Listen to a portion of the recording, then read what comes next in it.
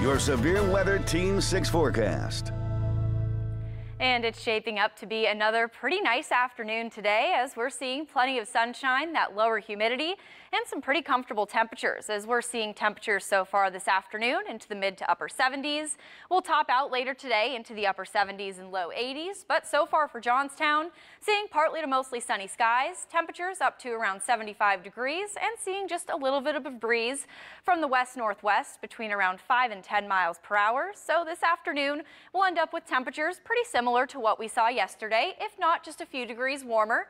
Yesterday, we made it up to 80 for Altoona and Bedford, 76 for Johnstown, 73 for Somerset, 79 for State College, and 81 for both Clearfield and DuBois. So high pressure is in control of our forecast today, bringing us a nice and quiet day ahead, seeing plenty of sunshine, and you're definitely going to want to get out there today and tomorrow and enjoy that lower humidity as we'll remain pretty comfortable for today and tomorrow, seeing dew points into the upper 50s and low 60s, but we are going to turn much more humid as we head into later this week. Dew points back into that muggy and even tropical categories by Thursday and Friday, and and our forecast going to turn much more unsettled along with that as we'll bring back the chance for some scattered showers and thunderstorms. So if you are looking to spend some time outside today or tomorrow, definitely looking like the best days out of the next few to do that.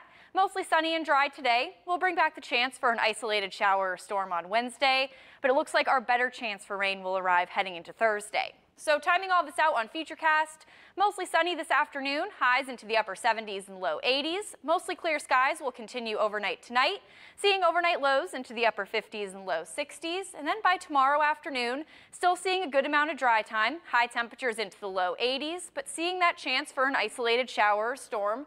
Looks like the better chance for that will be in some of our northern counties, with our better chance for rain arriving as we head into Thursday. And that's also when things are going to start turning much more humid. So taking a look at our full seven day forecast, mostly sunny today, highs in the upper 70s and low 80s. Seeing that chance for an isolated shower or thunderstorm Wednesday afternoon. Better chance for some rain heading into Thursday, and we will remain pretty unsettled throughout the weekend and even into early next week, as we'll see the daily chance for at least an isolated shower or thunderstorm. But temperatures will stay pretty close to average for this time of year, with high temperatures into the upper 70s and low 80s through early next week.